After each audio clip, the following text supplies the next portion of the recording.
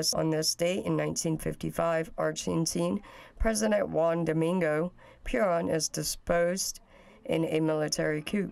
In 1960s, Chubby Checker has a number one record with a twist which launched a worldwide dance craze. And finally, in 1978, police expanded their hunt for the Red Brigade, suspects who are suspected of kidnapping and murdering the former premier of Italy, Aldo Moro. And that is September 1978.